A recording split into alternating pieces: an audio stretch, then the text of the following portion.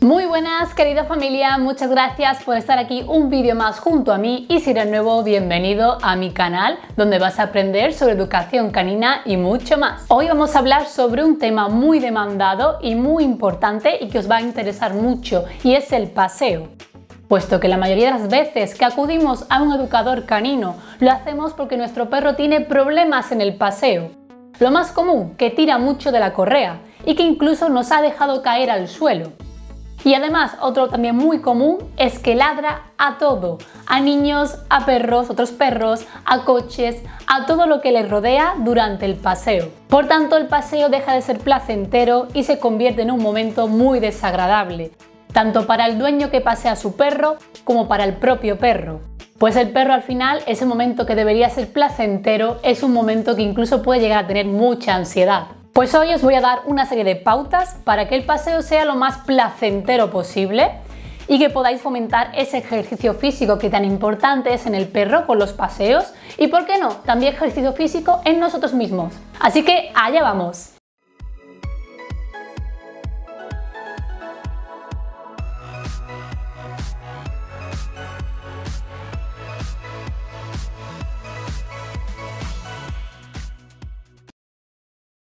Lo primero que debo decirte es que no hay paseo sin premios. Es muy importante que siempre que salgas de paseo con tu perro lleves premios para que puedas comunicarle cuando vaya bien, es decir, cuando la correa esté holgadita, le digas muy bien y le des un premio. Esto es muy importante. Y decirte que hay varias cuestiones muy importantes con los premios. La primera, los premios tienen que ser muy sabrosos para tu perro, es decir, un premio que le encante, que le vuelva loco. Te aconsejo snacks para perros con un alto porcentaje de proteína, de carne o incluso pollo troceado. Pero lo que no aconsejo por norma general es utilizar salchichas, porque las salchichas tienen un poder nutricional muy bajo y que incluso puede generar sarro en tu perro. La segunda, los premios deben estar cortaditos en el tamaño perfecto para el tamaño de tu perro. Si tienes un perrito de tamaño pequeño, vamos a trocear los premios pequeñitos para ir en función de su tamaño, porque no queremos que el perro se dé un atracón de comida, sino que el perro tenga motivación suficiente para seguir queriendo más y más. La tercera cuestión, no uses premios duros ni crujientes. Tienen que ser premios blanditos que tu perro logre comérselo en un segundo. Si le damos un premio que es muy duro, probablemente se quede mucho en la boca mordisqueándolo y que el perro al final se porte mal y siga ese premio en la boca, así que cuidado. Y la cuarta cuestión es que te aconsejo que utilices una bolsa porta premios, para que los premios los tengas aquí dentro cortaditos y seas mucho más rápido al premiar a tu perro la llevas enganchadita y así cuando vayas a premiar tan solo tienes que coger y dar. El problema está cuando ponemos el premio en el bolsillo, que aparte de que podemos manchar nuestra ropa, pues somos algo más lento, porque no logramos cogerlo a la primera. Y al final vamos a premiar en el momento no adecuado para que el perro aprenda y es muy importante premiar con una gran eficacia, con una gran velocidad para premiar el momento exacto. Respecto a las herramientas que necesitarás para pasear con tu perro, te voy a aconsejar un collar, a ser posible con hebilla para que sea mucho más seguro. Un collar que además tiene que ser de la medida de tu perro, que no le vaya a quedar grande. Y también te voy a aconsejar una correa lo más simple posible, de 1,20, 1,50 no necesitas al final una correa de adiestramiento ni nada especial, porque lo que quiero es que sea una correa que no pese, que sea sencilla y por tanto mucho más cómoda en tu mano. Y recuerda que al final no es la herramienta, sino es la técnica, el cómo enseñamos a nuestro perro para que eso sea lo eficaz. Una vez que tenemos las herramientas y sabemos lo que ya hemos hablado, es importante que conozcas otras pautas muy importantes. Deciros que el paseo comienza ya desde casa el cómo le pones con la correa, el cómo salimos por la puerta, todo esto va a influir en cómo será el paseo en la calle. Sobre todo los perros reactivos, esto hará una gran diferencia. Salir de casa corriendo, nervioso, diciéndole al perro, venga, vamos, vamos a la calle, vamos a la calle. El perro sobrecitado, saltando, llorando, incluso ladrando. Le pones el collar a prisas porque el perro no se deja, sales de la puerta corriendo y el perro te tira Todo esto al final es un grave error. Quizás no te estés dando cuenta, pero estás potenciando a tu perro la conducta nerviosa, lo que realmente no quieres que tu perro haga. Pero es que el problema es que no le estás enseñando. Por norma salimos a prisas y hacemos que este momento tan incómodo sea lo más rápido posible para que acabe lo antes posible. Pero este es el error. ¿Que cómo debería salir tu perro o cómo deberíais salir? Pues desde la tranquilidad y la paciencia. Deberías salir tranquilo, sin activar a tu perro diciéndole vamos a la calle, vamos a la calle, porque al final esto empeora la conducta de tu perro. Si tú eres tranquilo, tu perro será tranquilo. Siempre te voy a aconsejar que le digas a tu perro que se siente para ponerle el collar y la correa. Y luego que le digas muy bien y le des un premio porque ha mantenido sentado, tranquilito y se ha dejado poner ese collar, esa correa. Esto será lo primero. Cuando consigas este primer paso, lo segundo va a ser salir por la puerta también en un modo tranquilo, que también le enseñes a tu perro cómo salir por la puerta. Para ello, te aconsejo que le digas qué se siente y te dediques a abrir la puerta, pero mirando a tu perro. Que tu perro mantenga el sentado. Si tu perro mantiene el sentado, le dirás vamos y saldréis ambos por la puerta y luego premiarás esa conducta de mantener y esa salida ordenada. Pero imagínate que le dices siéntate, vas abriendo la puerta, el perro se levanta. Bueno, pues simplemente dile un no para que entienda que está mal y vuelva a decirle que se siente. Esto pues probablemente tengas que repetirlo varias ocasiones. Pero como ya hemos dicho, con paciencia y repetición lo terminarás consiguiendo. Lo que ocurre es que muchas veces, pues en nuestro día a día, esos momentos, esas salidas del perro, nos coinciden con que vamos a ir al trabajar, que tenemos prisa, que no podemos dedicarle ese tiempo al perro.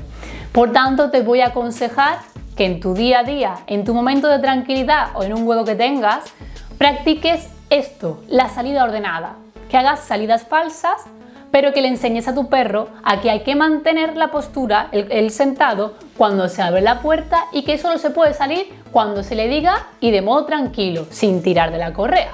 Haciendo esto un día tras otro, vas a conseguir que tu perro al final conozca cómo debe salir por la puerta. Si tu perro tiene muy arraigada esta conducta de salir como loco, pues necesitarás de mucha paciencia y repeticiones, pero todos los perros aprenden. Por tanto, no desesperes y practica poco a poco y sin prisas. Con esto conseguirás que tu perro ya salga con un estado de tranquilidad inicial y por tanto el paseo sea diferente. Pero si tu perro acostumbra a salir nervioso, el paseo ya empezará con una cierta intensidad y por tanto será mucho más difícil que tu perro se centre en ti. También te voy a aconsejar que para que el paseo con tu perro sea lo más cómodo y más ordenado posible, que le digas siempre que vaya a un mismo lado, ya sea el izquierdo o el derecho. Yo, siendo diestra, aconsejo que el perro vaya en el lado izquierdo, para que tengamos la mano derecha libre para premiarle, para coger el móvil, para abrir la puerta. En definitiva, es lo más cómodo. La cosa es que normalmente cuando paseamos al perro estamos en ciudad, en calles estrechas, con tráfico, afluencia, y es muy difícil que podamos hacer que el perro vaya por delante, desordenado, dándonos vueltas, giros, porque al final esto hace un paseo además muy incómodo. Si al final lo acostumbras a ir a tu lado, llegará el día que parecerá que no llevas perro, porque no notarás que él está contigo, de lo bien que va paseando. ¿Y cómo le puedes acostumbrar a ir a tu lado, junto a ti? Pues el truco está que en el lado izquierdo deben ir apareciendo premios siempre y cuando la correa vaya holgada.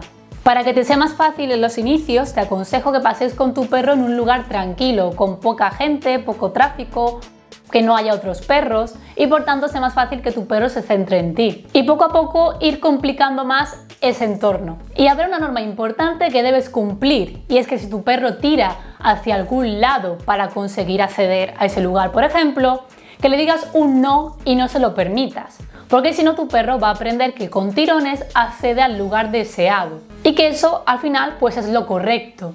Y que te quedes con la idea de que solo le dejarás a tu perro acceder a ese lugar si no hay tirones de correa, si tu perro va con la correa holgada. Por ejemplo, algo muy típico en los machos no castrados es que bueno, van marcando con su harina todas las esquinas, todos los arbolitos y al final es un constante tirón porque el perro tira hacia un lugar, tira hacia otro, hacia otro y bueno, al final el paseo es muy desagradable. Os pongo un ejemplo y lo que os propongo que hagáis. Si por ejemplo tira hacia un coche, hacia un vehículo, porque quiere hacer pipí en, esa, en la rueda de un coche, pues bueno, os propongo que le digáis un no, porque no es un lugar muy adecuado. Y más adelante, cuando veas un lugar adecuado, pues que tú mismo se lo permitas y le lleves. Y le comuniques incluso que es el momento de esparcimiento, el momento de pipi caca, de olisqueo, de liberación. Eso lo vamos a hacer con un comando. Os voy a aconsejar la palabra libre, que va a incluir todo eso. Cuando digamos libre, el perro pues ya no tiene por qué ir a nuestro lado. Puede ir por delante, bueno, con un cierto control, porque tampoco queremos que el perro se vuelva muy loquito ahora, sino que es su momento de olisqueo y de liberarse de ese paseo ordenado. Del mismo modo, ese momento de esparcimiento se debería acabar con otro comando que os propongo que sea la palabra vamos, para seguir y continuar con el paseo ordenado y junto a nosotros. Por tanto, lo que os propongo es que si por ejemplo vais a pasear con el perro durante una hora, que en esa hora hagáis varios momentos de esparcimiento. 3, 4, 5, 2, los que quieras, para que tu perro al final pueda disfrutar lo máximo del paseo junto a ti. Y estos son los puntos más importantes que vamos a ver hoy para que tu perro no tire de la correa cuando paseéis juntos y para que el paseo sea de la mayor calidad y lo más placentero para ambos. Si te ha gustado este vídeo, regálame un me gusta, escribe un comentario si tienes alguna duda o si quieres comentar cualquier cosa. Y bueno, no te olvides nunca de suscribirte al canal para aprender mucho más junto a mí. Y nos vemos, aquí te espero en la próxima. ¡Hasta luego!